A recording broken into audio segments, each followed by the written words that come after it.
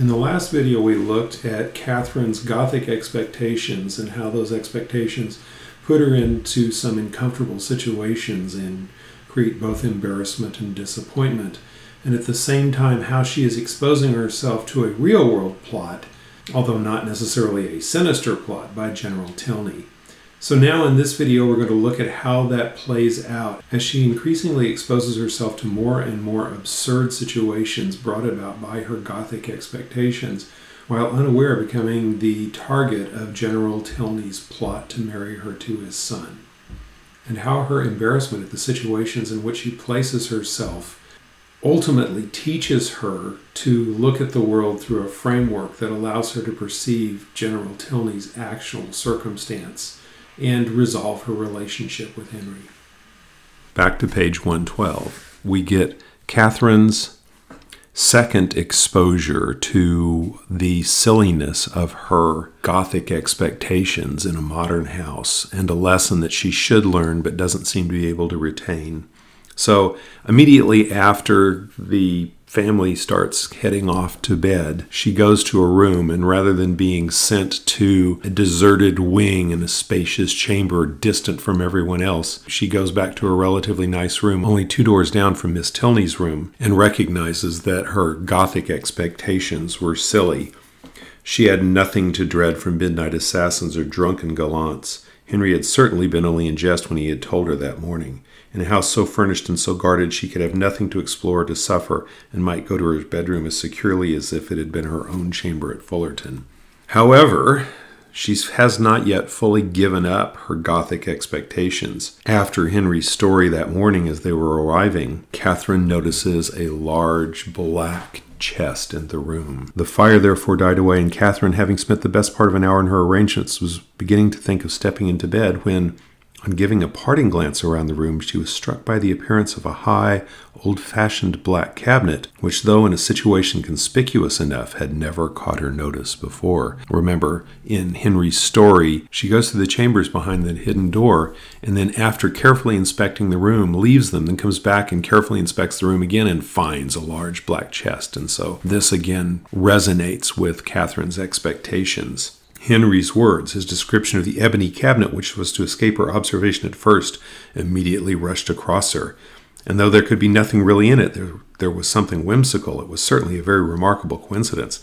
So she goes to look at the cabinet. The key was in the door, and she had a strange fancy to look into it. Not, however, with the smallest expectation of finding anything, but it was so very odd after what Henry had said. In short, she could not sleep till she had examined it. And notice that we are going to now shift back into the parody of the Gothic novel language. So, placing the candle with great caution on a chair, she seized the key with a very tremulous hand and tried to turn it but it resisted her utmost strength. Alarmed but not discouraged, she tried it another way. A bolt flew, and she believed herself successful. But how strangely mysterious! The door was still immovable. She paused a moment in breathless wonder. The wind roared down the chimney, the rain beat in torrents against the windows, and everything seemed to speak to the awfulness of her situation. To retire to bed, however unsatisfied on such a point, would be in vain, since sleep must be impossible with a consciousness of a cabinet so mysteriously closed in her immediate vicinity. Again, therefore, she applied herself to the key, and after moving it in every possible way for some instants with the determined celerity of hope's last effort, the door suddenly yielded to her hand, her heart leapt with exultation at such a victory, and having thrown open each folding door, the second being secured only by a bolt of less wonderful construction than the lock, though in that her eye could not discern anything unusual, a double range of small drawers appeared in view, with some larger drawers above and below them, and in the center a small door, closed also with a lock and key, secured in all probability a cavity of importance. Catherine's heart beat quick, but her courage did not fail her. With a cheek flushed by hope and an eye straining with curiosity, her fingers grasped the handle of the drawer and drew it forth. It was entirely empty. With less alarm and greater eagerness, she seized a second, a third, and a fourth. Each was equally empty. None was left unsearched, and in not one was anything found. Well read in the art of concealing a treasure, the possibility of false linings to the drawers did not escape her and she felt round each with anxious acuteness in vain. The place in the middle alone remained now unexplored, and though she had never from the first had the smallest idea of finding anything in any part of the cabinet, and was not in the least disappointed at her ill success thus far, it would be foolish not to examine it thoroughly while she was about it. It was some time, however, before she could unfasten the door, the same difficulty occurring in the management of this inner lock as the outer. But at length it did open, and not vain as hitherto was her search. Her eyes directly fell on a roll of paper pushed back into the farther part of the cavity, apparently for concealment.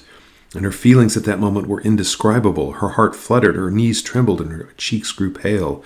She seized with an unsteady hand the precious manuscript, for half a glance sufficed to ascertain written characters. And while she acknowledged with awful sensations the striking exemplification of what Henry had foretold, resolved instantly to pursue every line before she attempted to rest. The dimness of the light her candle emitted made her turn to it with some alarm, but there was no danger of its sudden extinction. It yet had some hours to burn, and that she might not have any greater difficulty in distinguishing the writing than what its ancient date might occasion, she hastily snuffed it. Snuffed it means pushed the wax down and exposed more of the wick, not putting it out. Alas, it was snuffed and extinguished in one. A lamp could not have expired with more awful effect. Catherine, for a few moments, was motionless with horror. It was done completely. Not a remnant of light in the wick could give hope to the rekindling breath. Darkness, impenetrable and immovable, filled the room. A violent gust of wind, rising with sudden fury, added fresh horror to the moment. Catherine trembled from head to foot. In the pause which succeeded, a sound like receding footsteps and the closing of a distant door struck her affrighted ear. Human nature could support no more. A cold sweat stood on her forehead. The manuscript fell from her hand, and groping her way to the bed, she hastily jumped in and sought some suspension of agony by creeping far underneath the clothes. To close her eyes and sleep that night, she felt must be entirely out of the question. With a curiosity so justly awakened, her feelings in every way so agitated, repose must be absolutely impossible. The storm too abroad so dreadful. She had not been used to feel alarm from wind, but now every blast seemed fraught with awful intelligence. The manuscript so wonderfully found, so wonderfully accomplishing the morning's predictions. How was it to be accounted for? What could it contain? To whom could it relate? By what means could it have been so long concealed? And how singularly strange that it should fall to her lot to discover it. Till she had made herself mistress of its contents, however, she could have neither repose nor comfort, and with the sun's first rays she was determined to peruse it. But many were the tedious hours which must yet intervene. She shuddered, tossed about in her bed, and envied every quiet sleeper. Again, a trope from the Gothic novel.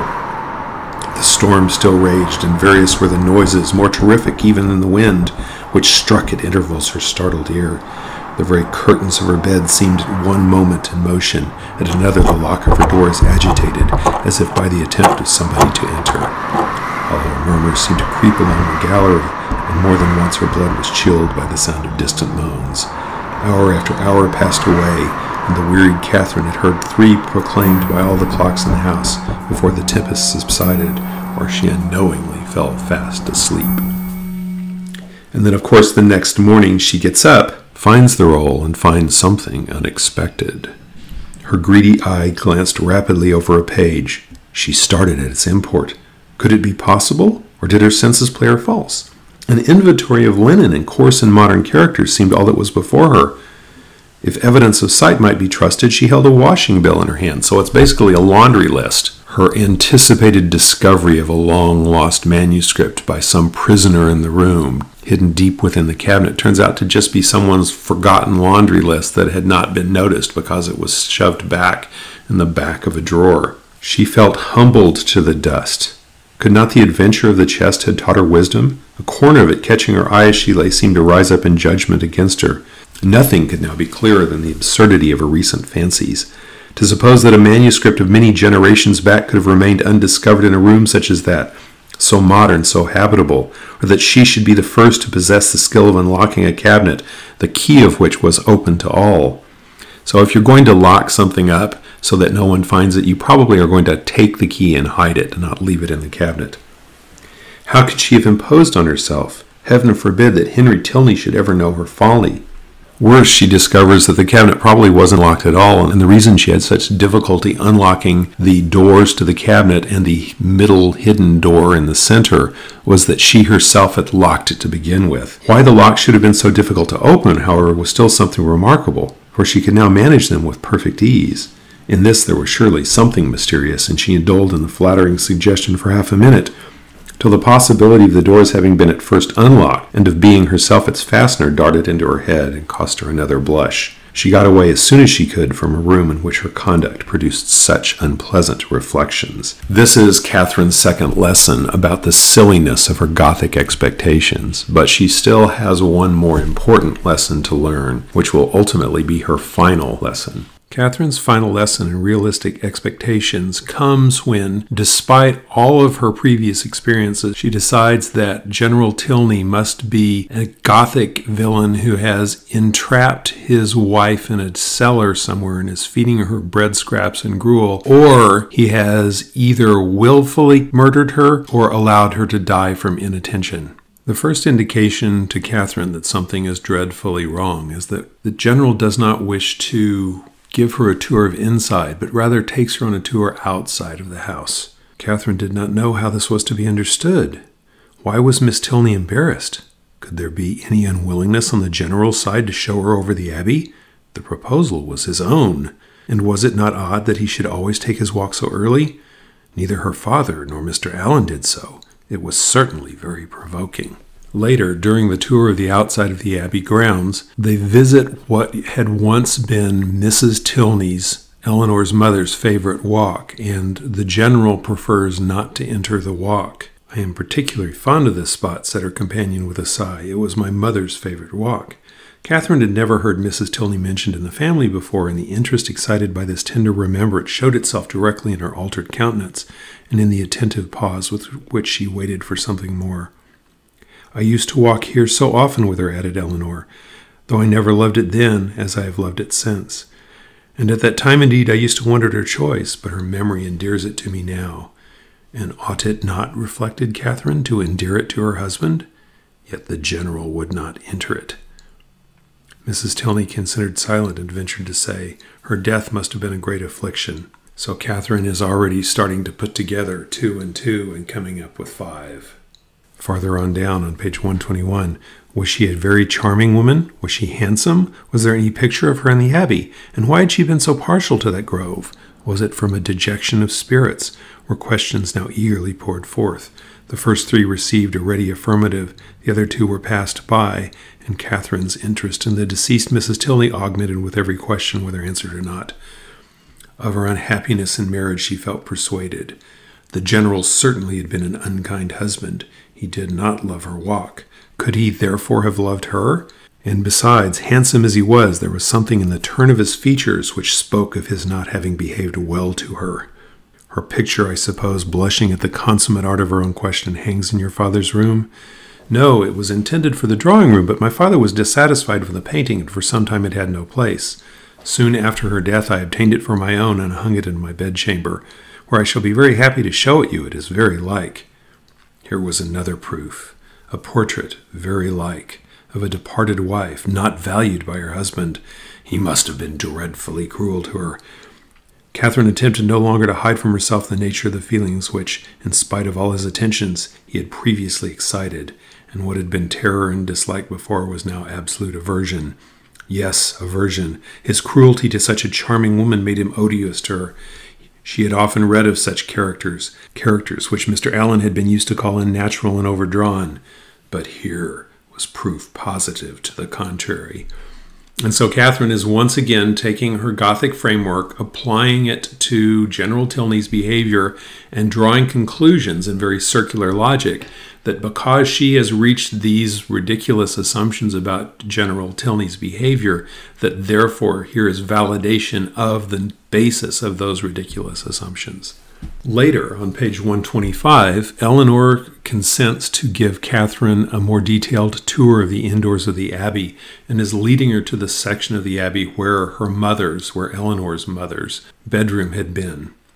The gallery was terminated by folding doors, which Miss Tilney, advancing, had thrown open and passed through, and seemed on the point of doing the same by the first door of the left and another long reach of gallery, when the general, coming forwards, called her hastily, and as Catherine thought, rather angrily back, demanding whither she was going. And what was there more to be seen? Had not Miss Morland already seen all that could be worth her notice? And did she not suppose her friend might be glad of some refreshment after so much exercise? Miss Tilney drew back directly, and the heavy doors were closed upon the mortified Catherine, who, having seen in a momentary glance beyond them a narrower passage, more numerous openings, and symptoms of a winding staircase, believed herself at last within the reach of something worth her notice, and felt as she unwillingly paced back the gallery she would rather be allowed to examine that end of the house than see all the finery of the rest. The general's evident desire of preventing such an examination was an additional stimulant. Something was certainly to be concealed. Her fancy, though it had trespassed lately once or twice, in her mistaken beliefs about the trunk and about the cabinet, could not mislead her here. And what that something was, a short sentence of Miss Tilney's as they followed the general at some distance downstairs seemed to point out. I was going to take you into what was my mother's room, the room in which she died, were all her words, but few as they were, they conveyed pages of intelligence to Catherine it was no wonder that the general should shrink from the sight of such objects as that room must contain. A room in all probability never entered by him since the dreadful scene had passed, which released his suffering wife and left him to the stings of conscience. How long ago may it be that your mother died? She has been dead these nine years, and nine years, Catherine knew, was a trifle of time compared with what generally elapsed after the death of an injured wife before her room was put to rights. You were with her, I suppose, to the last? No, said Miss Tilney, sighing. I was unfortunately from home. Her illness was sudden and short, and before I arrived it was all over. Catherine's blood ran cold with the horrid suggestions which naturally sprang from these words. Could it be possible? Could Henry's father? And yet, how many were the examples to justify even the blackest suspicions? And when she saw him in the evening, while she worked with her friend, slowly pacing the drawing room for an hour together in silent thoughtfulness, with downcast eyes and a contracted brow, she felt secure from all possibility of wronging him. It was the air and attitude of a Montoni. What more could plainly speak the gloomy workings of a mind not wholly dead to every sense of humanity in its fearful review of past scenes of guilt? Unhappy man! And the anxiousness of her spirits directed her eyes toward his figure so repeatedly as to catch Miss Tilney's notice. My father, she whispered, often walks about the room in this way. It is nothing unusual. So much the worse, thought Catherine. Such an ill timed exercise was out of peace with the strange unreasonableness of his morning walks, and boded nothing good. And of course, Catherine's fears and sentiments get even worse. General Tilney has a habit of staying up late at night reading over papers, which Catherine is determined must be evidence of his guilt. But neither the business alleged nor the magnificent compliment could win Catherine from thinking that some very different object must occasion so serious a delay of proper repose. To be kept up for hours after the family were in bed by stupid pamphlets was not very likely. There must be some deeper cause. Something was to be done which could be done only while the household slept. And the probability that Mrs. Tilney yet lived, shut up for causes unknown and receiving from the pitiless hands of her husband a nightly supply of coarse food, was the conclusion which necessarily followed. Shocking as was the idea, was at least better than the death unfairly hastened as, in the natural course of things, she must ere long be released. The suddenness of her reputed illness, the absence of her daughter, and probably of her other children at the time, all favored the supposition of her imprisonment. Its origin, jealousy perhaps, or wanton cruelty, was yet to be unraveled. In revolving these matters while she undressed, it suddenly struck her that as not unlikely that she might that morning have passed very near the spot of this unfortunate woman's confinement might have been within a few paces of the cell in which she languished out her days. For what part of the abbey could be more fitted for the purpose than that which yet bore the traces of monastic division? In the high arched passage paved with stone, which already she had trodden with peculiar awe, she well remembered the doors of which the general had given no account. To what might not those doors lead?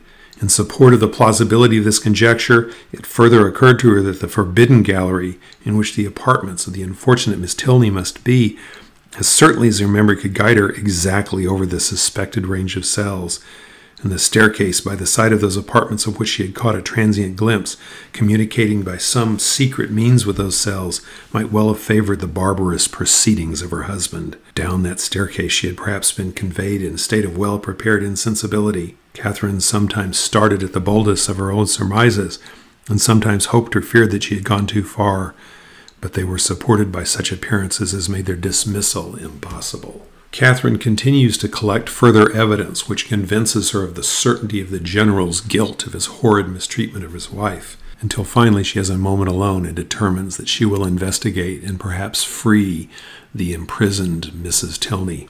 It was done, and Catherine found herself alone in the gallery before the clocks had ceased to strike.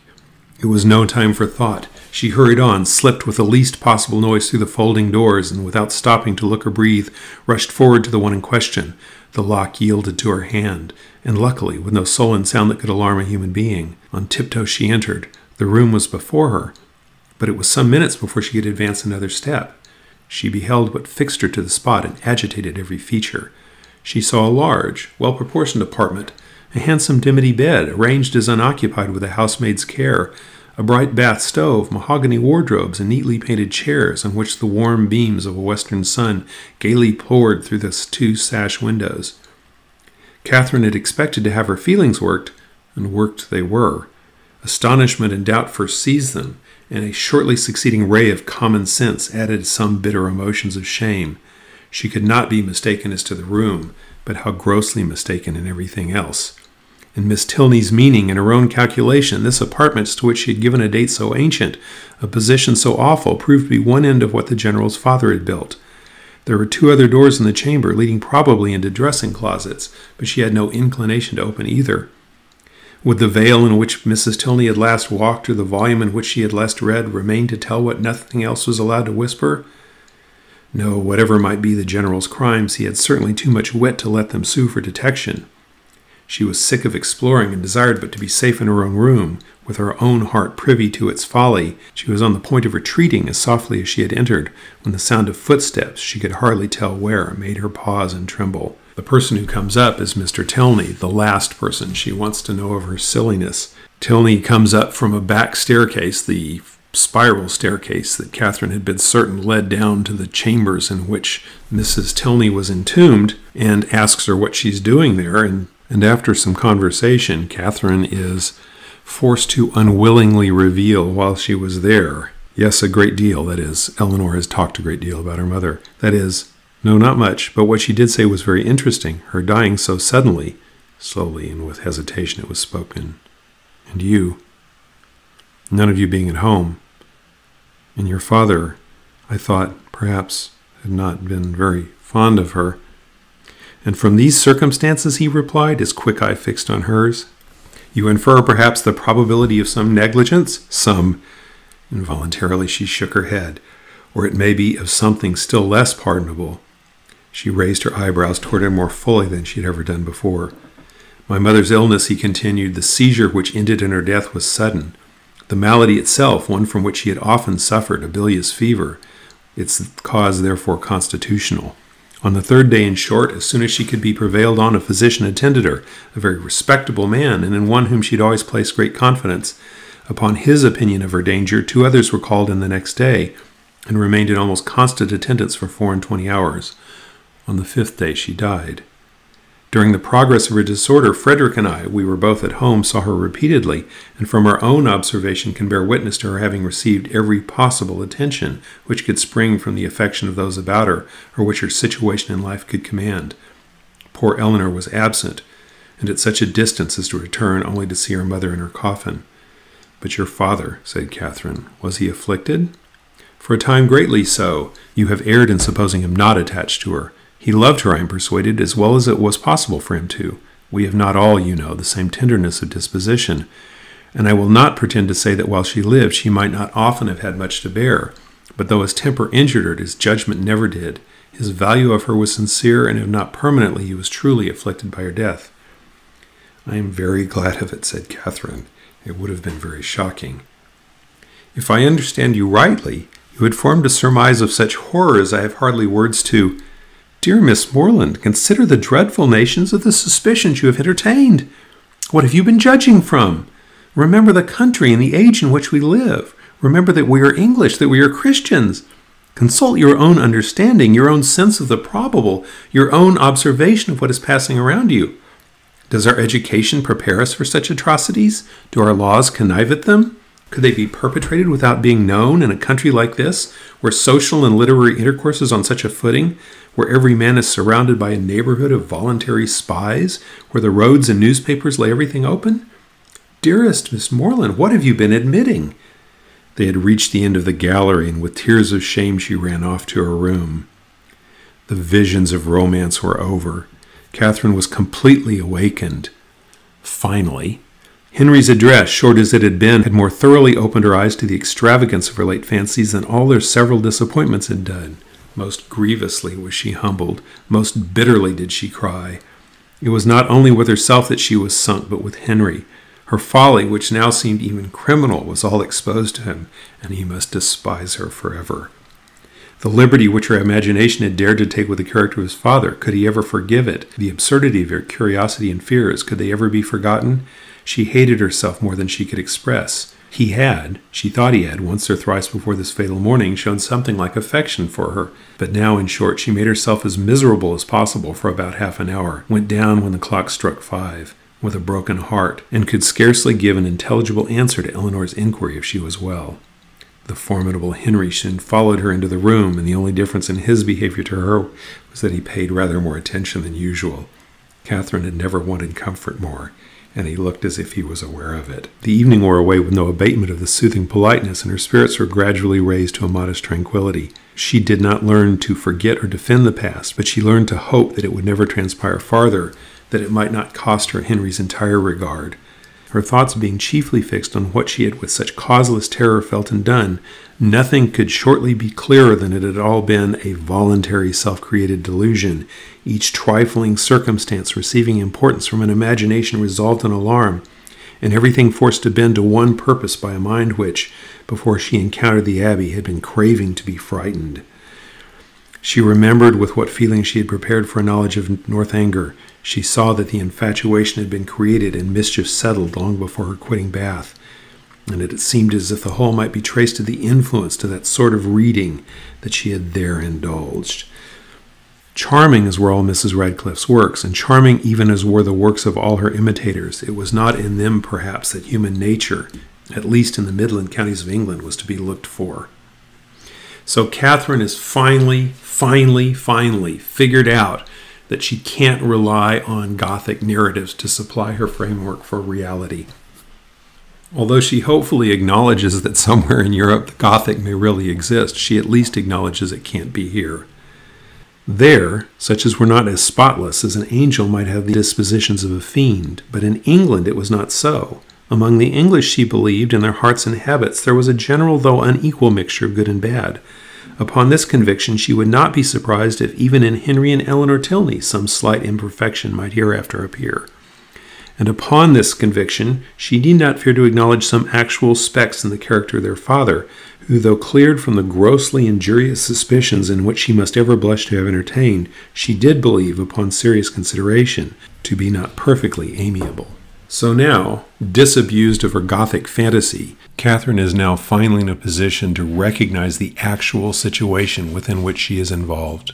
First, she recognizes that Isabella is not the friend that Catherine had imagined her, has dumped James, and has taken up with Captain Tilney, who she believes is a better match. But Henry and Eleanor caution her that it is very unlikely that this match will ever go forward, or that General Tilney would consent to it, because, of course, General Tilney, it turns out, is a fortune hunter. And then Catherine, of course, figures out that since she herself has little fortune, this might damage her desirability to the general as a daughter in law. At the beginning of chapter 26, on page 140, from this time the subject was frequently canvassed by the three young people, the subject being the anticipated marriage of Captain Tilney and Isabella. And Catherine found with some surprise that her two young friends were perfectly agreed in considering Isabella's want of consequent and fortune as likely to throw great difficulties in the way of her marrying their brother. Their persuasion that the general would, upon this ground alone, independent of the objection that might be raised against her character, oppose the connection, turned her feelings, moreover, with some alarm towards herself. She was as insignificant and perhaps as portionless as Isabella, and if the heir of the Tilney property had not grandeur and wealth enough in himself, at one point of interest were the demands of his younger brother to rest. Eleanor and Henry Tilney believe that Isabella will not be an acceptable mate for Captain Tilney, and it turns out Catherine is not an acceptable mate for Henry once the general comes to believe that she is a pauper as well. The general goes away to London, and Henry and Catherine and Eleanor enjoy relative freedom in the absence of his imposing personality. But while he's gone, unbeknownst to Catherine, the general talks to John Thorpe, and John Thorpe, who is now disappointed in his expectations of marrying Catherine, and also because Isabella and James have broken up, mm-hmm. now claims, in justification of his failed suit for Catherine, now claims that Catherine is actually a pauper and her father a beggar, and the general, believing John Thorpe as he before had believed John Thorpe claiming she was rich when John thought he was to marry her, sends back and has Catherine literally thrown out of the house. And the ignominy of this sudden dismissal is quite clear because of both Eleanor and Catherine's response. Catherine is waiting in her room for Eleanor to come up as usual. At that moment, Catherine thought she heard a step in the gallery and listened for its continuance, but all was silent. Scarcely, however, had she convicted her fancy of error when the noise of something moving close to her door made her start. It seemed as if someone was touching the very doorway, or in another moment a slight motion of the lock proved that some hand must be on it.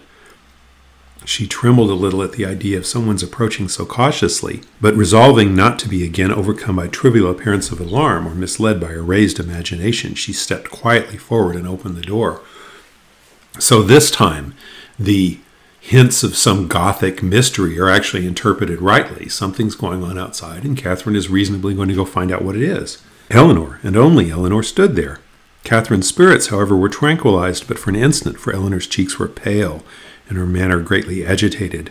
Though evidently intending to come in, it seemed an effort to enter the room, and a still greater to speak when there. Catherine, supposing some uneasiness on Captain Tilney's account, could only express her concern by silent attention, obliged her to be seated, rubbed her temples with lavender water, and hung over her with affectionate solicitude.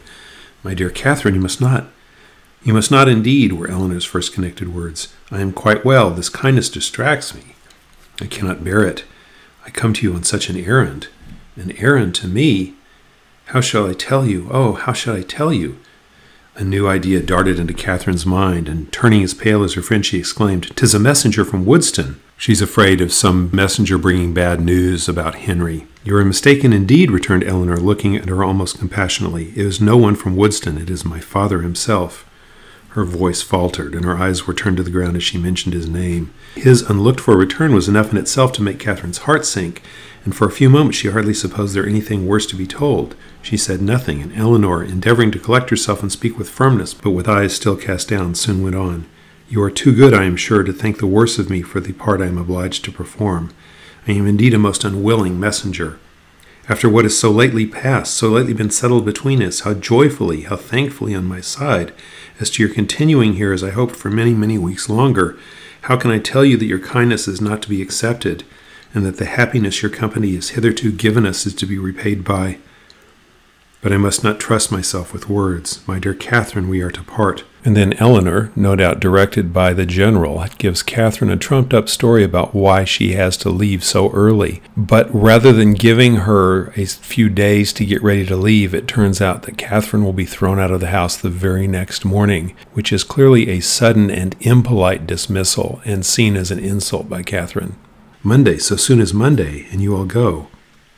Well, I am certain of I shall be able to take leave, however. I need not go till just before you do, you know. Do not be distressed, Eleanor. I can go on Monday very well. Monday is very soon for the arrangement to make a trip all the way back to Fullerton.